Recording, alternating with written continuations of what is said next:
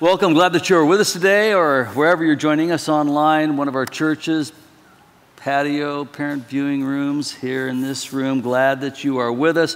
Hopefully, you brought uh, your uh, doubts and your skepticism and questions and, and all of that because we're going to be taking on, you know, what about faith and science? And hopefully, we'll be able to address. Uh, uh, maybe, maybe, some of the concerns or questions that uh, you have had or someone that you care about has had that maybe has caused us, sometimes questions can do this, caused us sort of take a little step back from this whole God thing. And, and if that's you, I'm, I'm hoping that you'll be open to it. Um, we're going to cover a number of things. I've got about 30 minutes here, and all I intend to do is completely resolve all the issues surrounding evolution, age of the earth, uh, who is the creator, um, what about the Big Bang, and where did the dinosaurs go? I'm just going to take it all on, and you're just going to be amazed. Yeah, right. You know, I, I, do have a confession to make before I get going and, you know, talking about, about science. I'm not a scientist. I know it's shocked some of you. But uh, no, I'm not a scientist. But what I have done is some great research, and I've given you a bibliography at the end of the uh, uh, outline there, and I encourage you to dig in. There are some great websites, there are some fabulous uh, books, and I think that you'll agree with me that there is an amazing uh, faith affirmation in the discovery. I don't think we need to be uh, at, at war with science, and this whole idea of, of faith, though, can be misunderstood as well. We can get the idea that we're being uh, asked to, to believe without thinking, and, and that's certainly not the case. One little boy went to church, he got home, and his dad said, What did you learn? And he said, Well, we learned about faith. And he says, Well, what's faith? He stopped and he thought, he says, Well, faith, faith is, is believing something that you know is not true. And, and sometimes when we start dealing with this issue of, of scientific research and, and, and what uh, evidences are out there, and then but have faith, well, I, w- I want to have faith in God, but you know, I kind of the numbers are adding up over here. And, and so you're not quite sure what, what to do with all that.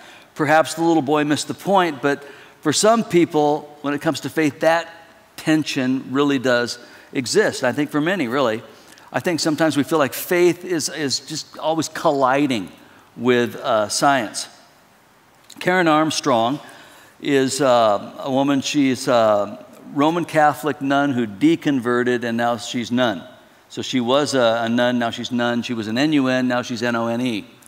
So uh, none of the above. She's super smart. Uh, maybe you've seen her on some TED Talks. She's, she's great. She wrote a book called The Case for God, and she said this Many of us have been left stranded with an incoherent concept of God. We learned about God at about the same time as we were told about Santa Claus while our understanding of the Santa Claus phenomena evolved and matured, our theology remains somewhat infantile. Not surprisingly, when we uh, attained intellectual maturity, many of us rejected the God we had inherited and denied that he existed. So now you, you look at this and you say, okay, we grow up with a certain understanding about God or Scripture or whatever, and it doesn't mature. And so life and information that comes to you can begin to jar some of that. And, and that's reasonable. And so you've got these uh, adult questions, and the people around you, the only answers you're getting are sort of a uh, immature faith response to your adult questions. And, and, and, that can be problematic. It, it, needs to, to go beyond that. You need, um, for fact based questions, you're not looking for faith based answers. You, you want to have something that, that is explainable. This series really is all about the gods that maybe we have had in our mind based on how we were brought up, what we believe, that don't really exist. Uh, for example, I, have got a number of them I found in various places that I thought described it very well. Next week, we're going to be taking on the first one, and it's called Bodyguard God. Bodyguard God always keeps you safe bodyguard God. He loves you and he'll never let anything, you know, bad happen to you. And that's a great, wonderful God to uh, have and right up until life happens. Right until you're getting your butt kicked and then you're going, what about bodyguard God? What happened to bodyguard God? He's not around. And so you come to the place where you go, I guess he doesn't exist. And you're right. He doesn't exist. And then there's on demand God. On demand God, he responds to fair and selfless requests as we would. You know, it's reasonable. So I think it's a reasonable request, so I think, you know, that on demand God is going to, you know, honor this request. For example, you know, God, I'm not asking you to change the world, I would just like a date. Uh, can, can you do this? Or, or, really, not even a date for me, a date for my son or my daughter. Or really, it'd be great, great if they just got married and gave me grandchildren, but that's about me, so let's just put it at the date. You know, it's this idea of I asked God for something, I didn't hear anything. I, I needed a sign, I didn't see anything. I wanted a miracle, nothing. And so you go, I guess God doesn't exist. Well, you're right. On demand God, He's not real. And then there's boyfriend God or girlfriend God. And boyfriend God is always there. His presence is always with me. I always feel boyfriend God's presence, and his, his arms are around me all the time. And I just feel, feel him. Just always feel him. And then the feelings go away. And you're going, What happened to God? I used to feel your presence, God, and now you're not around. So I guess you don't exist. I guess you're gone. Yeah, okay, true. Because boyfriend God, he doesn't exist. If you're going to be looking for this experience to um, constantly confirm whether God is with you or loves you, you're going to find out that he doesn't. Because he doesn't exist, and you need to discover the real God. And then there's guilt God. Now, guilt God, he controls you by making you feel bad. You feel bad and you know you're unworthy. Guilt God knows what you did last summer, uh, and he didn't like it. Uh, guilt God, guilt God is the God who is love, but he doesn't really like you. You know, it's just like whatever, you know, and you're never good enough. You know, no matter how hard you try, you're going to fail at some point, and guilt God will be right there. Guilt God is a bummer and he doesn't exist. See, I, am hoping that, that one of the things we'll get a little glimpse of today is that, that God is the awesome creator and a completely gracious redeemer. That's who he really is. But as we get into it, I want to talk about another God, and it's the anti science God. Now, the anti science God, he wants to force us to choose between undeniable science on one hand and unreliable religion on the other. We have to choose between those two, and there you go. And maybe you grew up with that when the message that you grew up with was uh, you had questions about this. Well, I don't understand this. And finally, they didn't have answers, so they just said, Well, stop thinking and start believing. That's a really bad option. If you have to, you know, flush your brain before you come into church, that, that's just not going to really work for you as you grow and mature and as you learn. You know, for some of us, you, you maybe grew up in a religious environment of some kind and then you went to a non religious environment like college and you liked it a lot. And your questions that began to grow. And then you had other answers that were not faith based but fact based, and so you were having to deal with this whole idea. Well, uh, one of the probably loudest critics over the last couple of decades uh, for Christianity and faith in God has been a guy named Richard Dawkins. Uh, pretty famous atheist, died recently, but he nailed it when he said this. One of the truly bad effects of religion is that it teaches us that it is a virtue to be satisfied with not understanding. That somehow just believing is really a good thing. And I, I think that uh, we don't have to make that choice God or science. Because we, we, we choose both all the time. If you're a Christian, you're a parent, uh, let's just say your kid gets really sick, I mean, super sick, and you load them in the car, and what do you do? You take them immediately to the church. No. You take them to the doctor. That's what you do. And then the doctor looks at them and says, uh, We're not sure what's wrong here. We're going to run some tests. We're going to draw some blood, and we'll, you know, should have the results tomorrow. So you're waiting by the phone. And you have got your friends praying. And then you get the call. The doctor says, Well, we've, we've um, run the tests and we've got the labs back. And what we've concluded is that God is trying to teach you something. No way you don't want to hear that.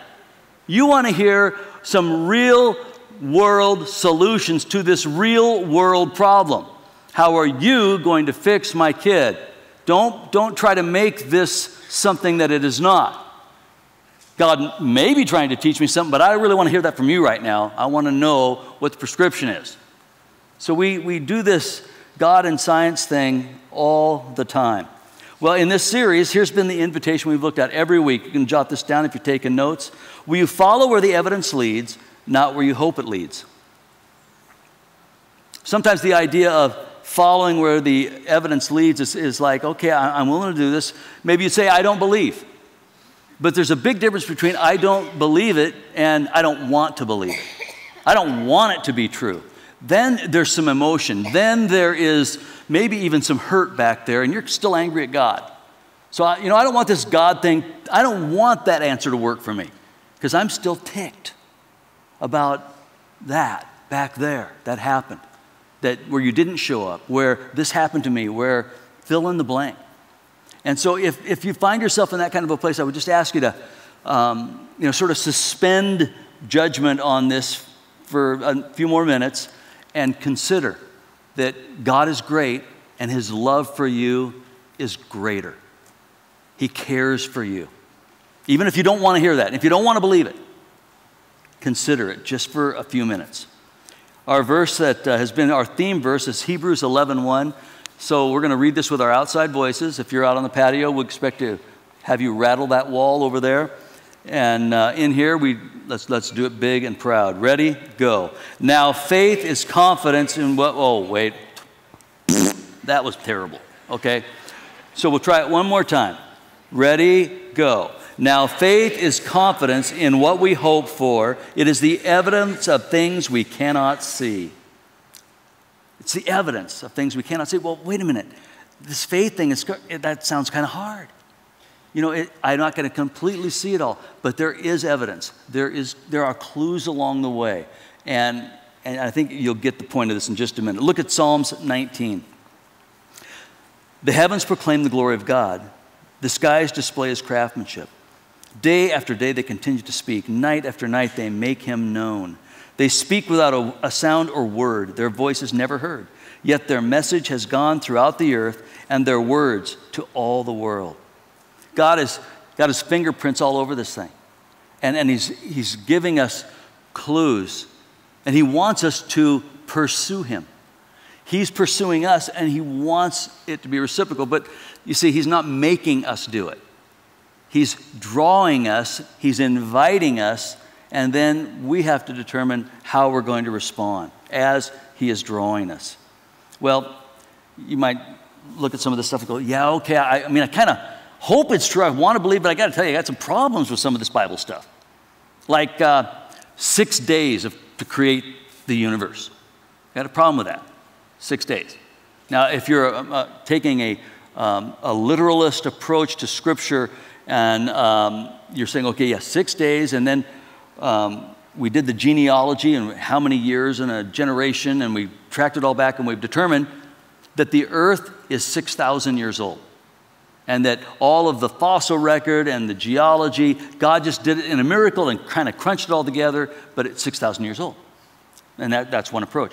Science, on the other hand, says it's a slightly larger number, about four and a half billion years old, which I'm not a math guy, but that's a bigger number.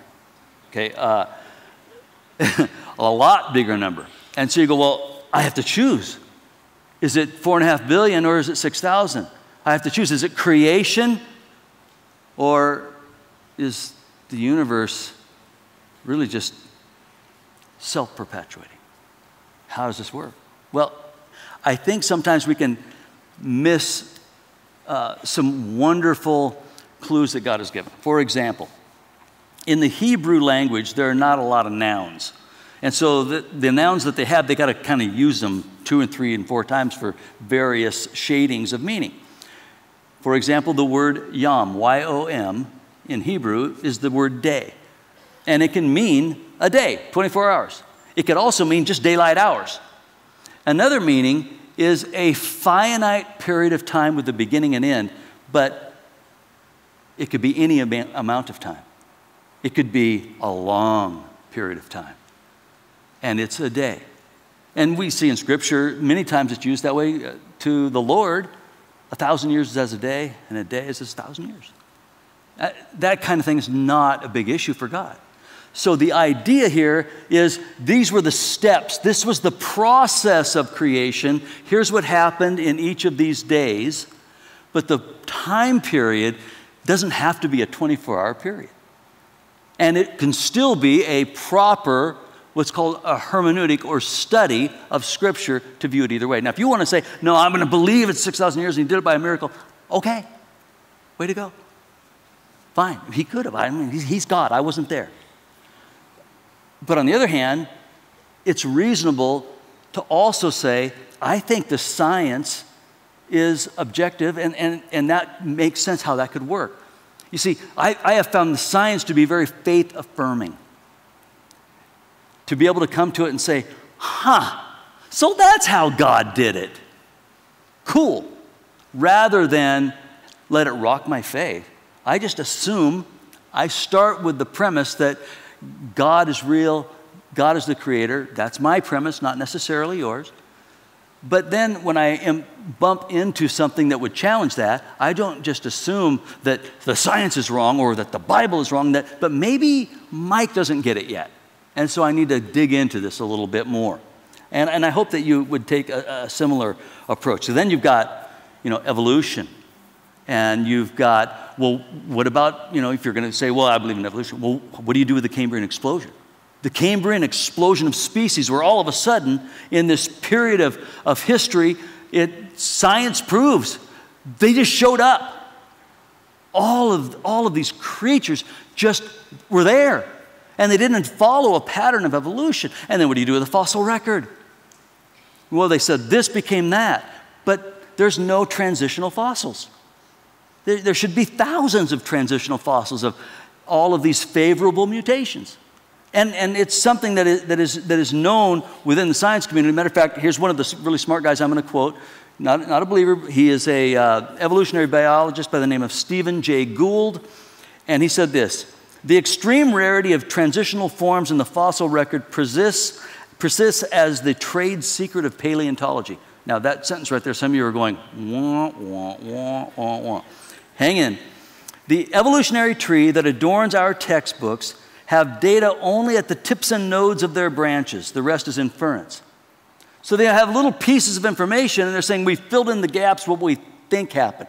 Well, that word inference to me also sounds a lot like faith. So everybody's using faith in this process, folks, wherever you land on it. So, three questions I've got for us. The first one is this the cosmological question what caused everything that exists?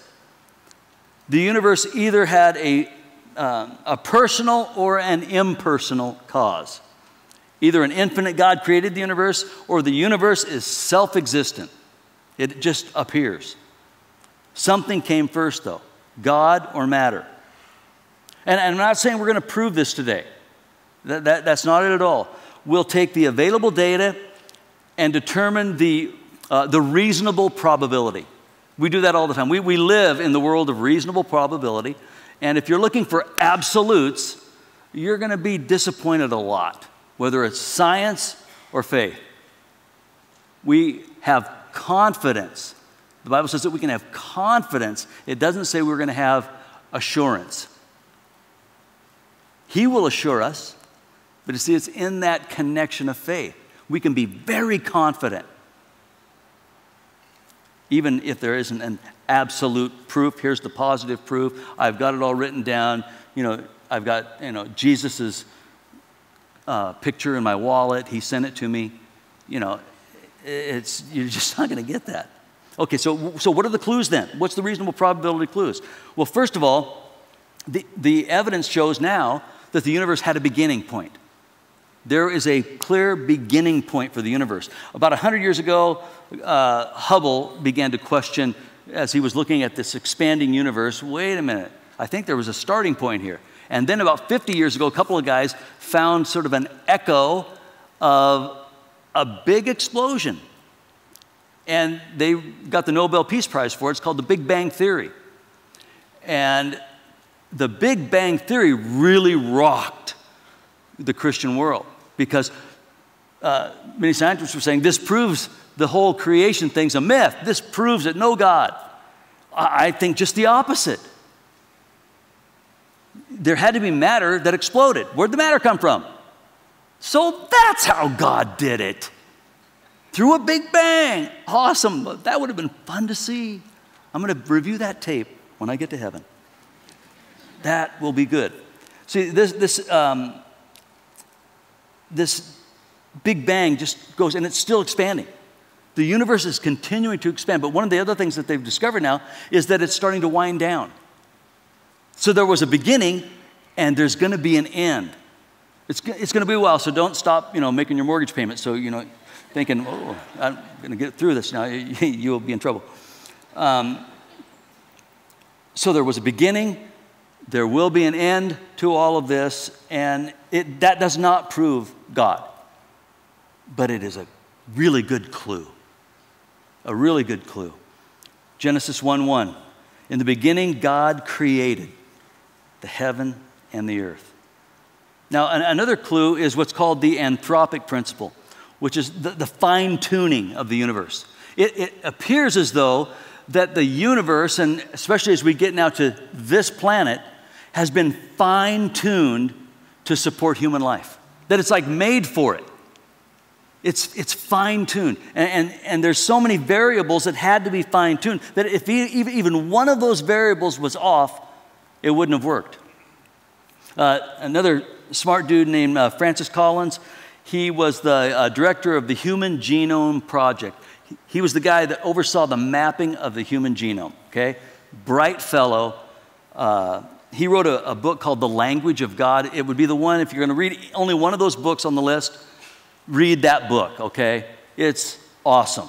Here's what he said When you look from the perspective of a scientist at the universe, it looks as if we knew, uh, it knew we were coming. There are 15 constants the gravitational constant, various constants about strong and weak nuclear force, etc., that have precise values. If any one of those constants was off by even one part in a million, or in some cases by one part in a million million, the universe could not have actually come to the point where we see it.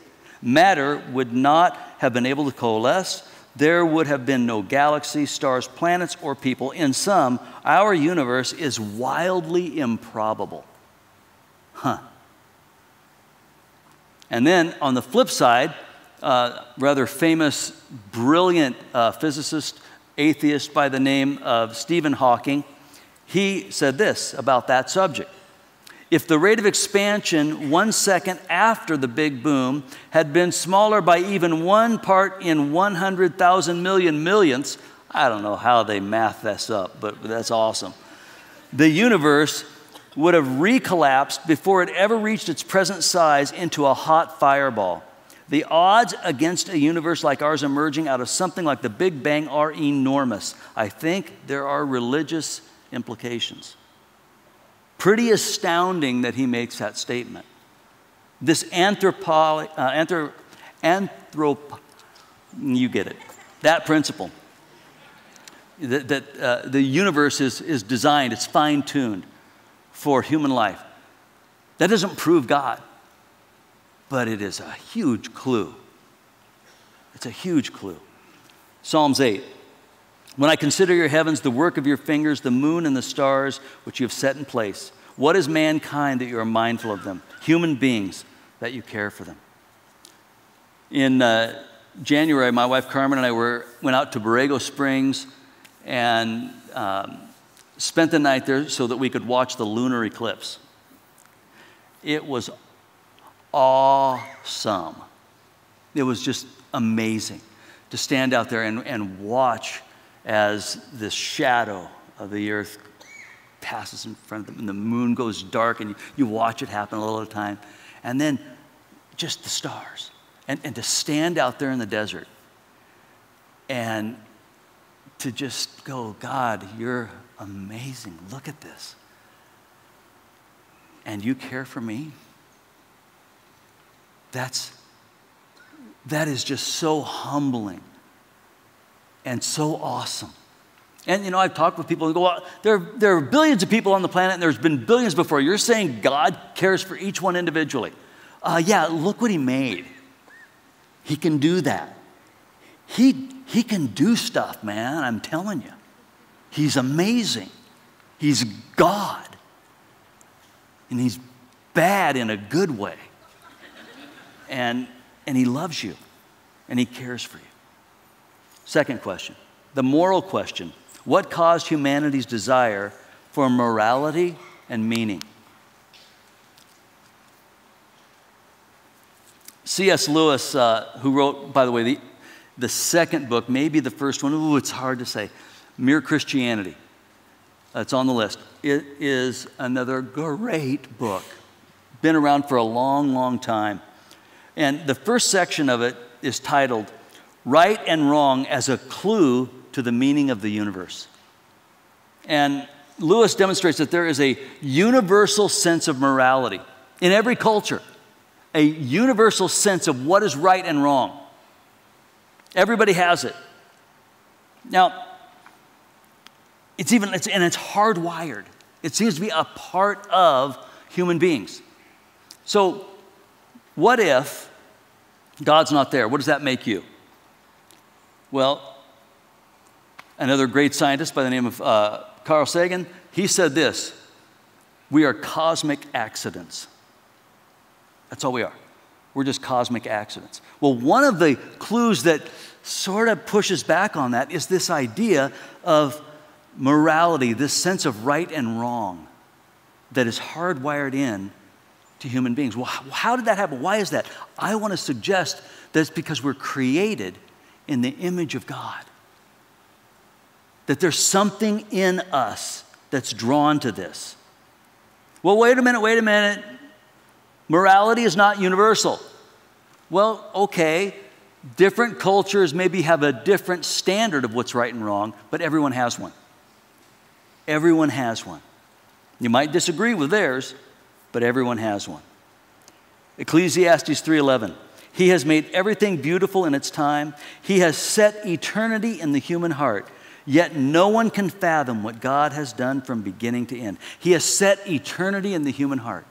He has set in your heart and my heart a sense of right and wrong. And we are drawn to be connected to the source of that morality. We're drawn to it. There's a want to. You know what that want to is called? Faith. If you have a want to, then you're being drawn. It's a good thing.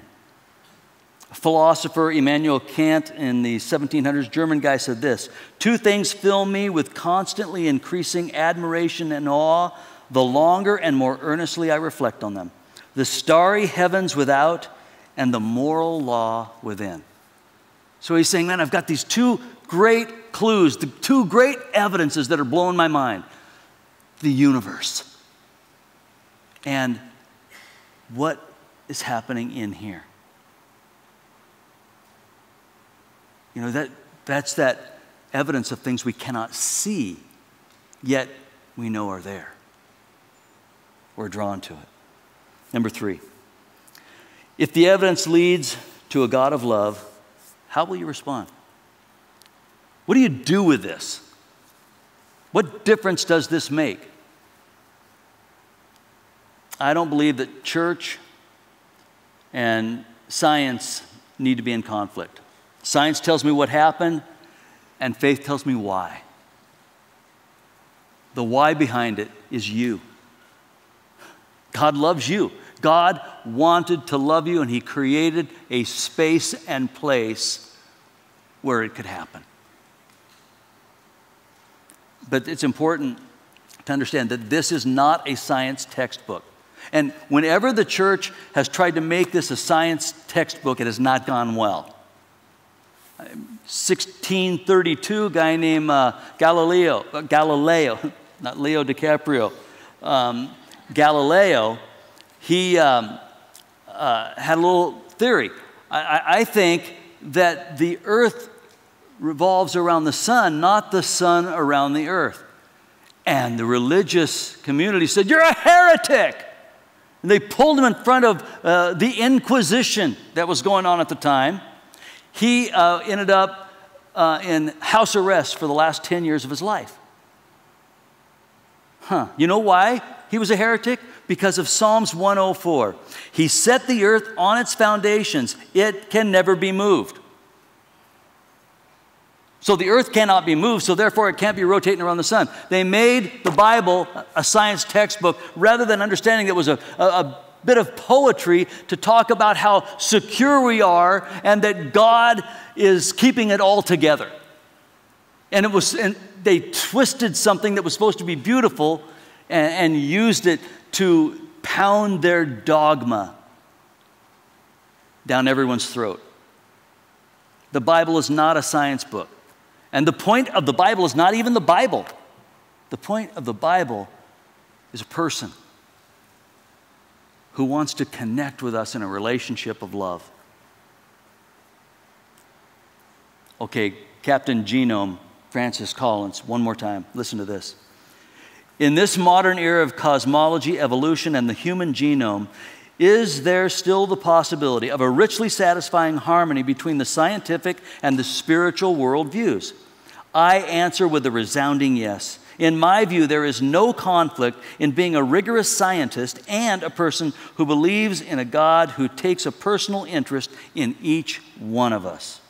In the, in the beginning, God created, and, and above earth and, and, and above uh, the universe. And above all creation is the Creator. God is not the universe. He's the creator of the universe and he's different from his creation. He is higher than his creation. Don't mix the two up. One more verse Nehemiah 9 6. You alone are the Lord. You made the heavens, even the highest heavens, and all their starry hosts, the earth and all that is on it, the seas and all that is in them. You give life to everything, and the multitudes of heaven worship you. The universe is fundamentally personal because God is personally interested in you. Now, hopefully, you'll read uh, Genesis, at least the first couple of chapters of Genesis, and it gives the, this whole creation account.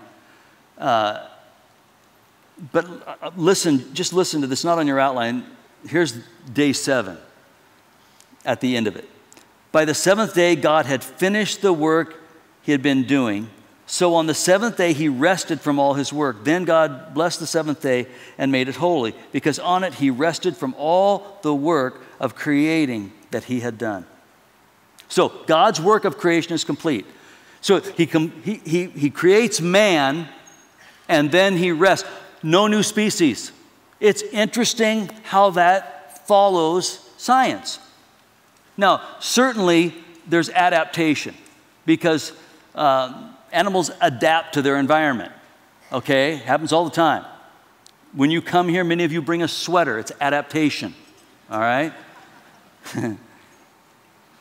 Days one through six, when you read this, you'll, you'll hear this phrase. It was, it, was, uh, it was daytime and it was evening, day one.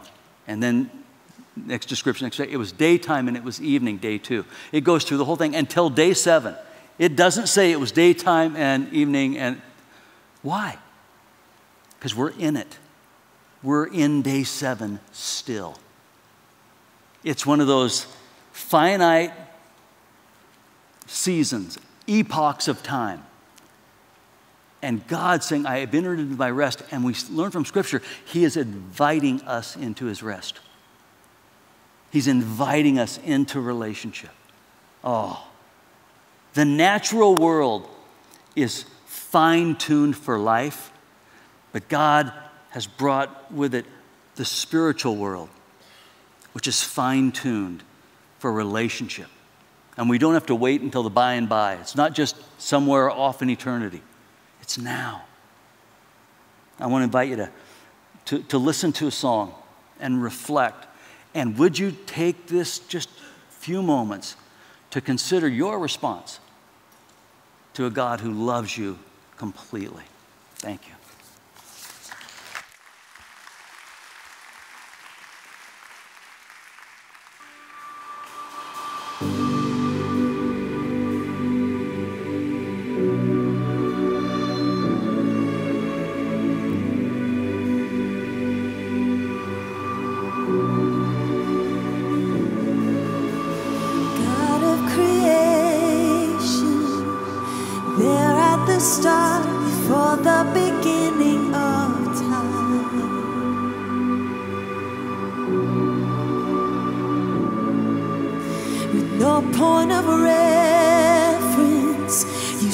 into the dark and fleshed out the wonder of light.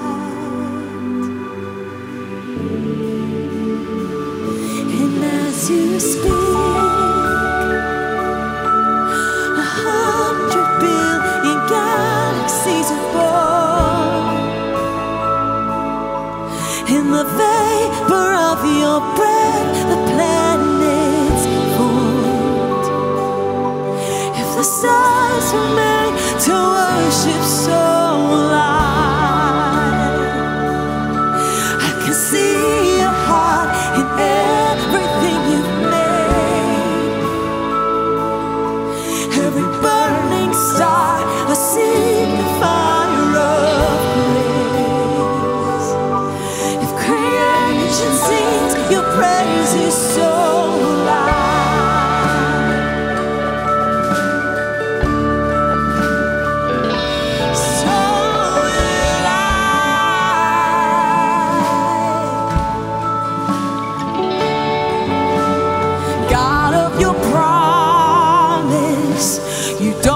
in vain, no syllable.